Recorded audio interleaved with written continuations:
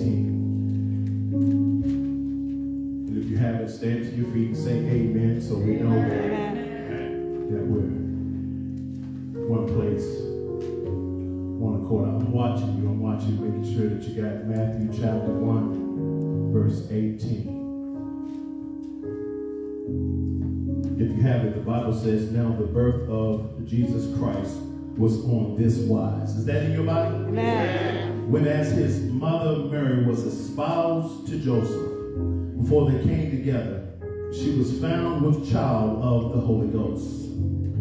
Then Joseph, her husband, being a just man, and not willing to make her a public example, was minded to put her away privately. But while he thought these things, behold, the angel of the Lord appeared unto him in a dream, saying, Joseph, thou son of David, fear not to take unto thee Mary thy wife, for that which is conceived in her is of the Holy Ghost. And she shall bring forth a son, and thou shalt call his name Jesus, for he shall save his people from their sins. Now all of this was done that it might be fulfilled, which was spoken of the Lord by the prophet, saying, Behold, a virgin shall be with child, and shall bring forth a son, and they shall call his name Emmanuel, which being interpreted is God with us. Then Joseph, being raised from sleep, did as the angel of the Lord had bidden him, and took unto him his wife. And he knew her not till she brought forth her firstborn son. And he called his name. Jesus. Y'all walking with me. Jesus, Jesus, Jesus. I got somebody walking with me. All I need is one or two. Verse 21, I want to use as a focus verse. And she shall bring forth a son, and thou shalt call his name Jesus. For he shall save his people whew, From their sin. from their sins. Leave a word of expectation this morning. I want to concentrate on this phrase. Keep hope alive. Keep hope alive. Y'all gonna pray with me? Eternal God, again we come before you, God. Humble, contrite, before a worthy God. God, we pause to admit that we can't do anything, God, that we're frail, that we're flawed, God. In fact, God, you use the, the, the term, we're filthy rags, God. But God, with you, we can do all things. Confess again, God, without you, we can do nothing. God, I pray mightily for your people. Lord. I realize, God, that they've been going through.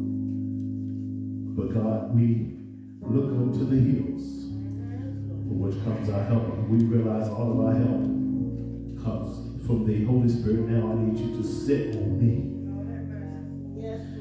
God, they can't get no healing from Raleigh, but they can only get their healing from you.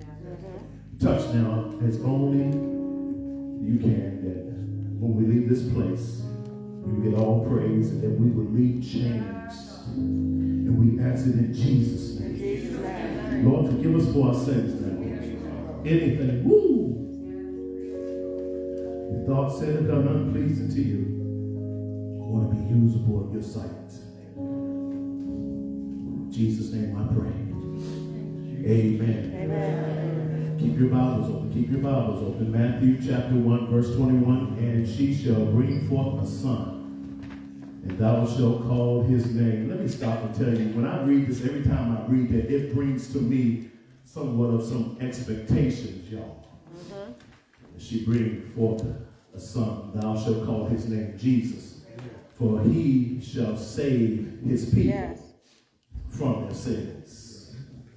Keep hope alive, y'all. Keep hope. Look at somebody. Help me preach.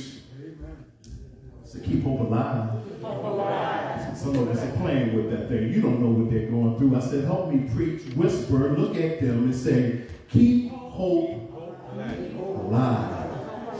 Brothers and sisters in Christ, this morning our scripture lesson comes from a very, very, very familiar place as recorded by Matthew as he records the birth of the Christ child. Is that right? Yes.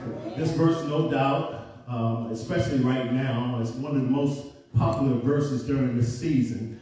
Let me remind you, this is a season of hope, a season of restoration, and a season, hopefully for you and me, a season of expectation.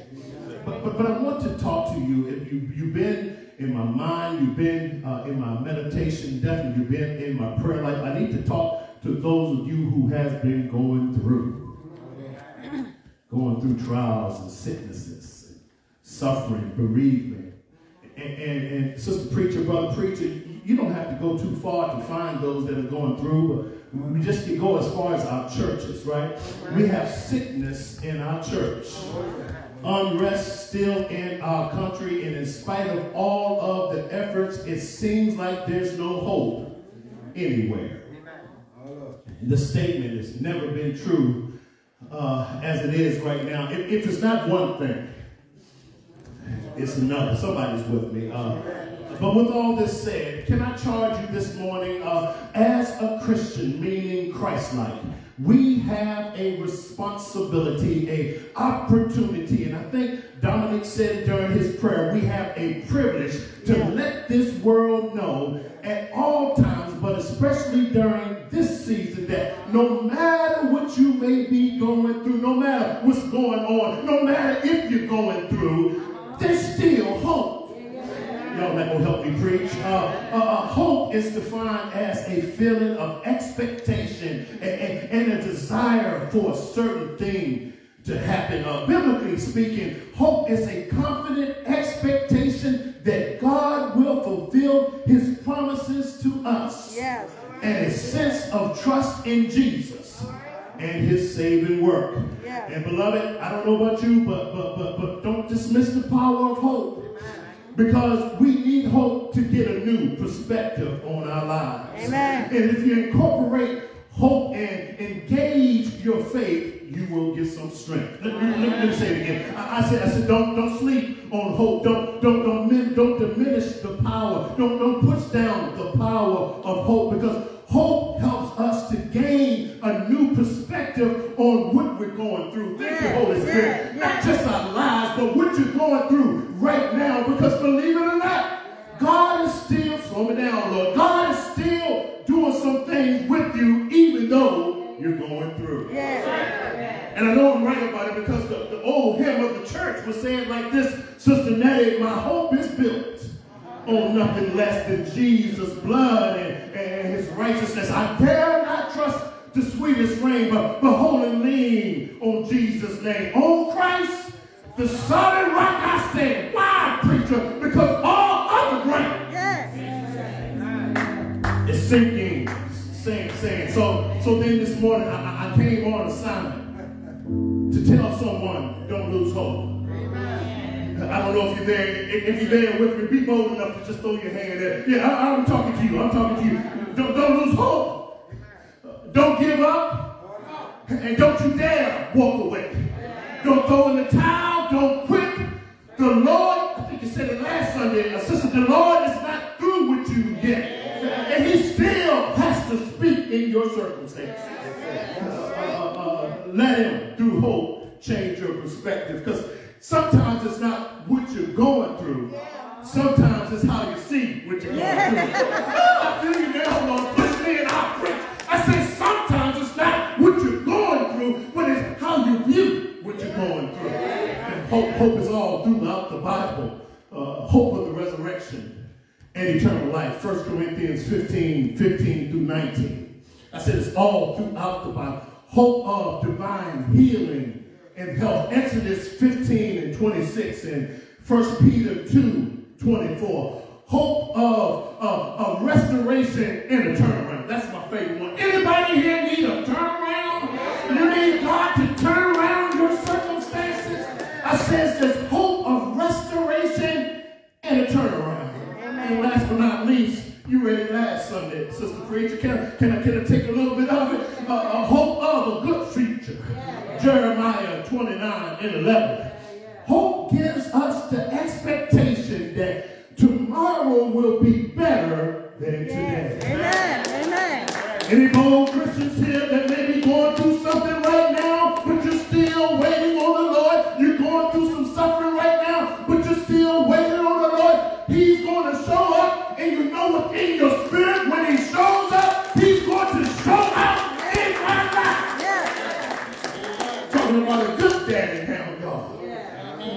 Said, so then hope, watch it, is more effective uh, when it's founded in the word and the promises of God. I, I need to make two uh, statements, uh, declarations, if you will, and then I'm going to move on. Maybe write these down. Two, two statements. Uh, hope is synonymous with faith. In other words, uh, they, they share the same definitions. They're very close in definitions. The first one is hope. It's synonymous with faith. And in other words, they, they, they share a similar uh, definition. They're, they're very close t- together. And stop telling me that you got faith and you ain't got no hope. If you've got faith, you, you have a- an expectation that, Yes. that something's uh, uh, okay. Okay. The, the second one. The second one. In order to be truly used of God, you have to have. Y'all want to write it down how I got it here? Yeah. Okay. Uh-uh. In order to be truly used of God, you have to have dot dot dot and incorporate hope.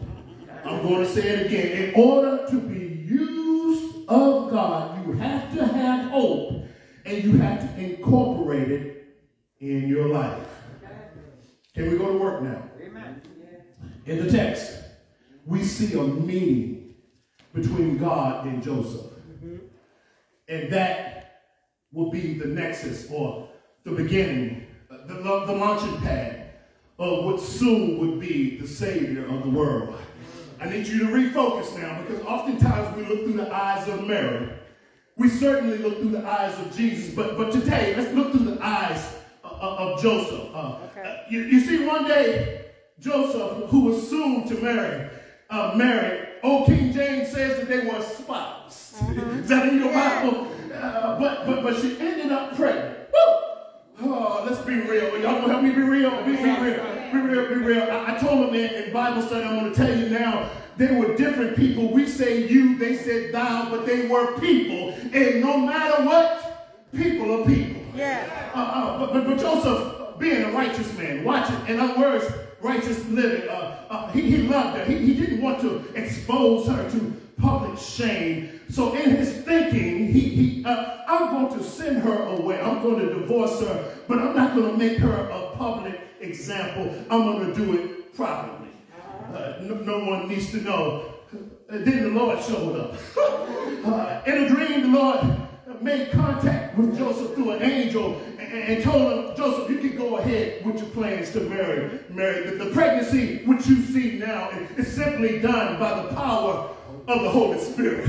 Yeah. Verse 21 in our focus verse says that Mary shall bring forth a son, and thou shalt call his name Jesus, for he shall save his people from their sins. Thank you, Brother Sterling. So then there's some lessons to learn in this scripture. If y'all would pray with me, and then we could go home. home. The first one, I'm already at my, fir- my first point. The first one is when you get a word from the Lord, uh-huh. change your perspective. Yeah. The sniffles. Y'all pray with me. Pray with me. I'm, I'm gonna make it through. I, I told you, look at the scenario from Joseph's perspective.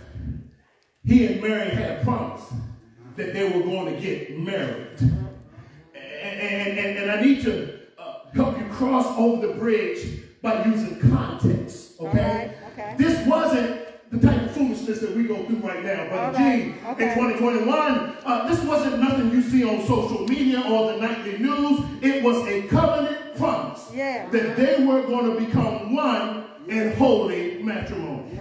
Uh, uh, uh, let's talk about, uh, look at his age a little bit. The Bible really, sister, those who study the Bible really don't talk about Joseph or Mary's age. Uh, That's right. All we know is back in those days, they did get married young. Yeah. Can you agree with me? Yeah. And in fact, one scholar says it this way: by the time that you're 30, they will already have grandchildren. Uh, but, but but we know that uh, more than likely they were older teens, if you will, or in their 20s. Can you imagine yes, being a young man and you look up and the woman you shown up espoused to, she's pregnant, and you have a dream, and the Lord tells you in a dream that what you see came by the Holy Spirit. Okay, okay, I just to you in right. I said we got to look at it from his perspective. But I like what he did. After he received the word from the Lord, he no longer worried about what people thought about. That's right. That's right. And not only did he reject their opinions, because you know they were talking. You know they were talking. Talking about Mary like a junkyard dog. But after he received a word from the Lord, he rejected their opinions. Mm-hmm. But not only that, once he received the word from the Lord, he made adjustments. Oh, y'all better walk with me. Uh, Preacher, what you mean adjustments? Just like the angel told him, y'all. He gave the new baby name. He said, give his name Jesus. And that's what Joseph did. Brothers and sisters, we can learn a lot from Joseph. When you get a word from the Lord, not only do you need to change your perspective, but baby, you need to change and make the adjustments. Yeah. Oh, it's going to get rough now. Right now, some of us are in a place of disobedience, suffering because we are not willing to change our perspective. And got the nerve to say, I'm still waiting on God to speak. Well, you're looking for a word, I got a word for you right here. Here's your word. He already spoke. Make the adjustments. Can you preach this morning? Uh, move towards your calling, even if you have to make an adjustment. Uh, move towards your destiny in the Lord, even if you have to make an adjustment. Let them talk about you, but move. Amen. Let them share their opinion, but as long as the Lord has spoke to you, you need to move. Stop worrying about people. I need to spend some time. Most of us adjust and we twist and we turn off of what people say. But when God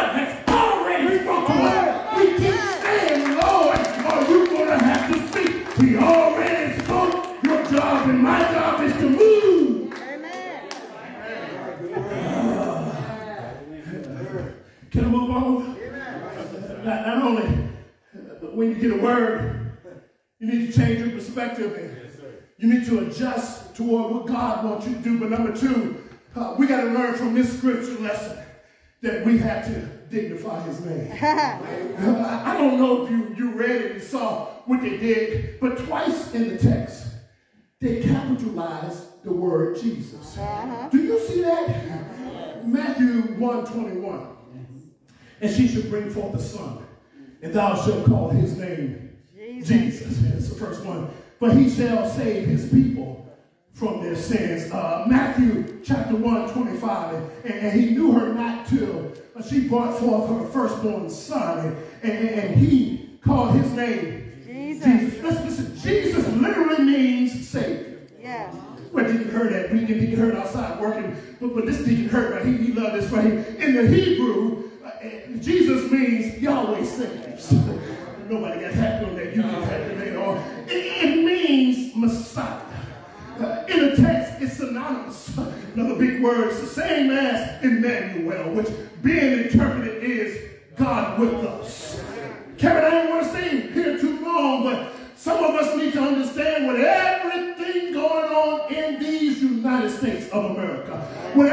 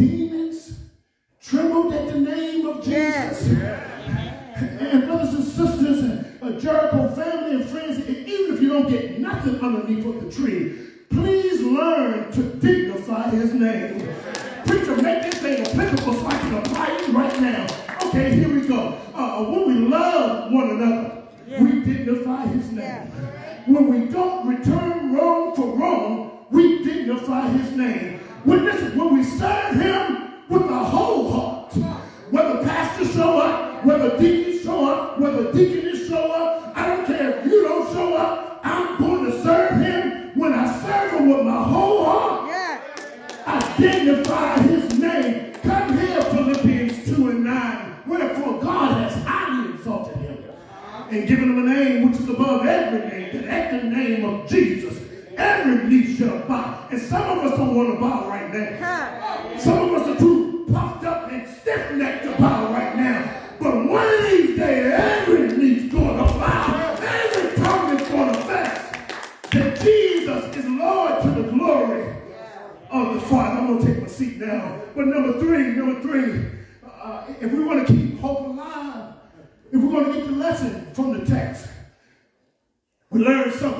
Bible study just a couple of days ago. And look at your neighbor and say, neighbor, where you in Bible study? Uh, wait for the answer, wait for the answer, wait for the answer. Lord, have mercy, guess I better move on. Uh, number three, number three, we learned in Bible study, uh, being in the will of God. Y'all get this? Being in the will of God does not eliminate you and I from trouble. Amen. Amen. I'm going to show it to you in the text. Number three is being in the will of God does not eliminate you and I from trouble. If we're going to keep hope alive, if we're going to get to that new perspective, or even if we're going to dignify his name, uh, we have to understand that being in the will of God does not eliminate, can I make it personal? Eliminate you from trouble. Yeah. In fact, if you really want to get into trouble, get in the will of God. Yeah. People will turn on you once you're in the will of God. Yes. Do I have any witnesses here? I said people will show up, turn on you when you stop doing it the way they want you to do it, and you start doing it God's way. People will turn on you. Uh, people will talk about you when you're in the will of God. Uh, you, you find yourself going against social and political norms mm-hmm. as you follow the will of God. Oh, okay, Lord, you push it, so I just want to go ahead and preach. Some of us are Democrats and some of us are Republican. Let me say it this way. Some of us are more Democrat than we are Christian. Yeah. Oh, I'm preaching to you, say amen. Some of us are more Republican than we, some of us are more black Yeah. than we are Christians.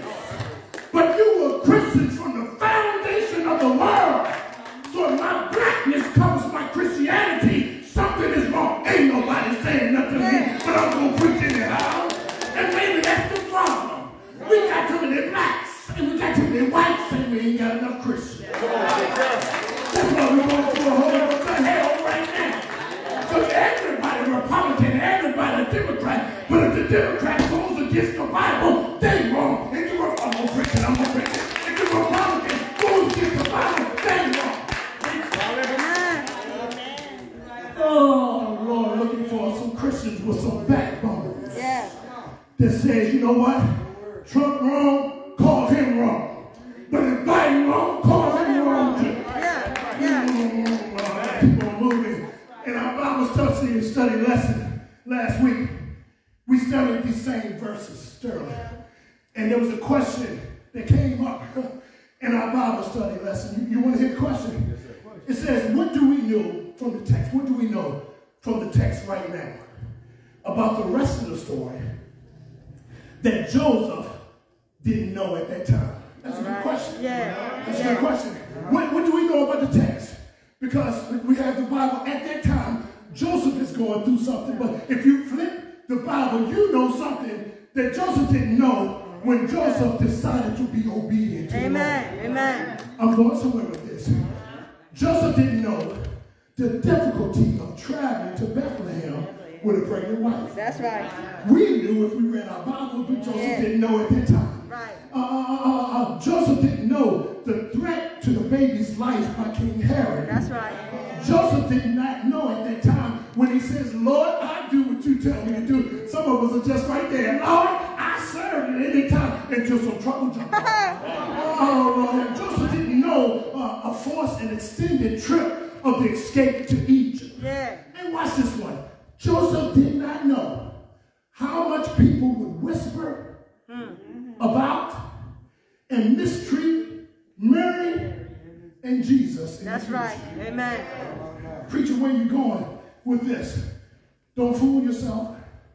Standing up for what's right can get you in trouble. Yeah.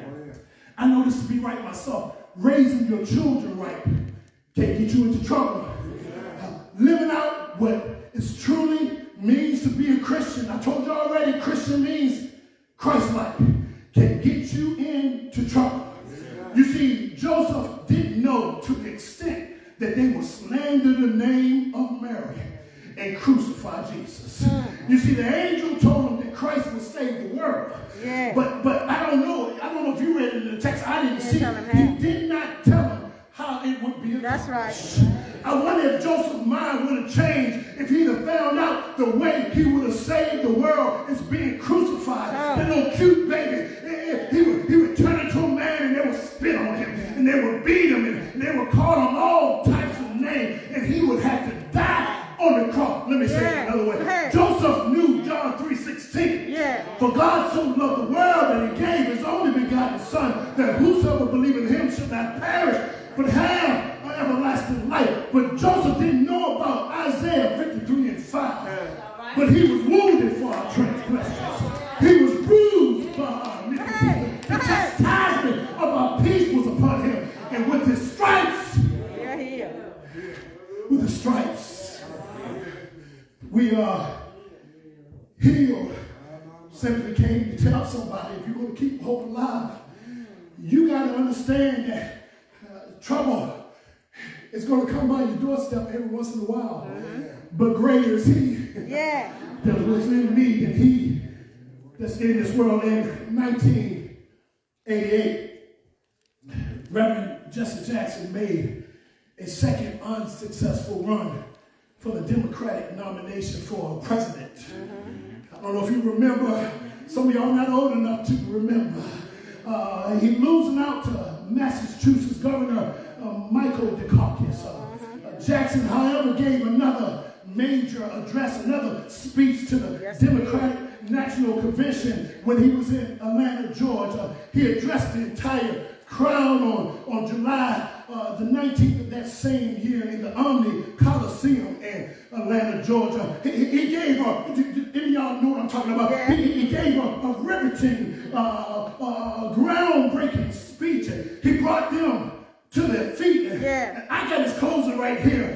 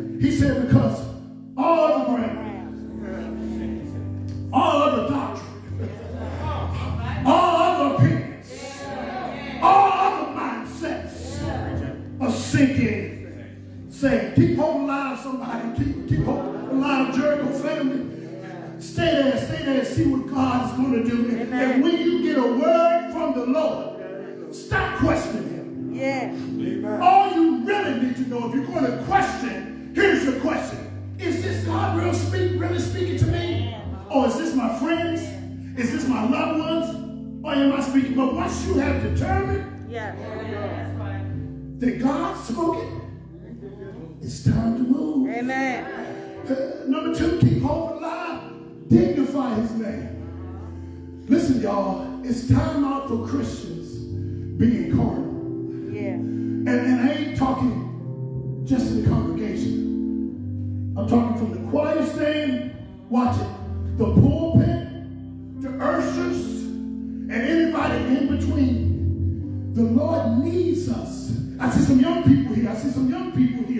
Listen, listen, we play games in the church. We wonder whether or not they're old enough and and whether they, they, they know what. But God knows your heart. God needs some more warriors in the high school, in the middle school, and in the elementary school that will stand up not just for Jay-Z, but will stand up for what's right. Amen. And let the world know that I'm a Christian. Yes. I'm a Christian. Last but not least, keep hope alive. To let you know it does not eliminate trouble and struggles from coming your way. But I told you at the beginning that sometimes it's not what you're going through. Y'all remember when I said this? It's how you see what you're What you're going going through. through. Take your mind back and think about some of the promises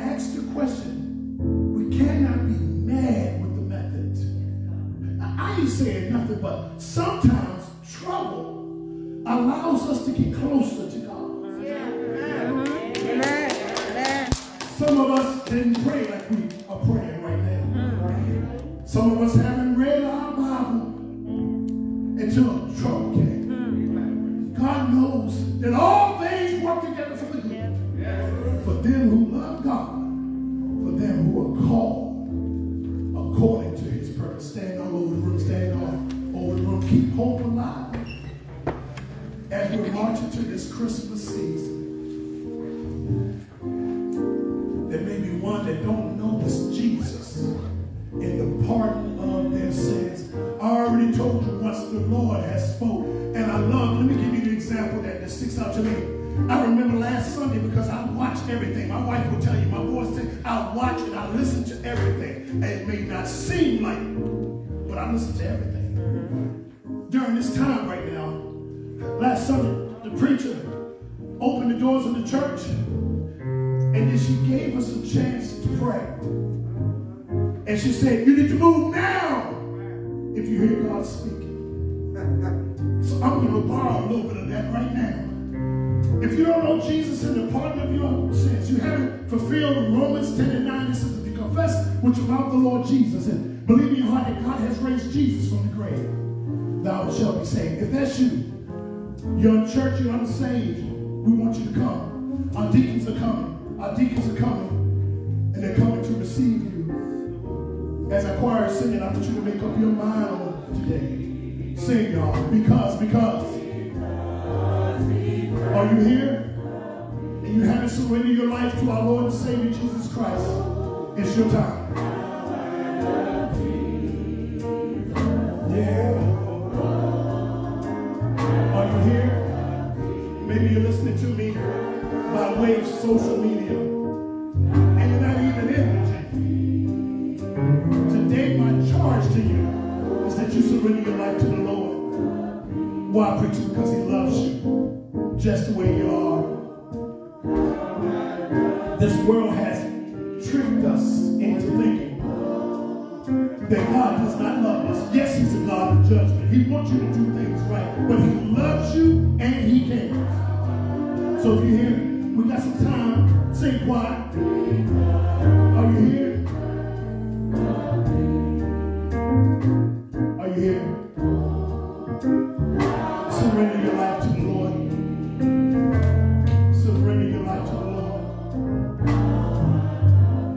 Tomorrow is not promised. If you're here, you already know God has made it clear in your life that you need to surrender your life to the Lord. Our deacons are here. Sing it one more time. Sing it one more time.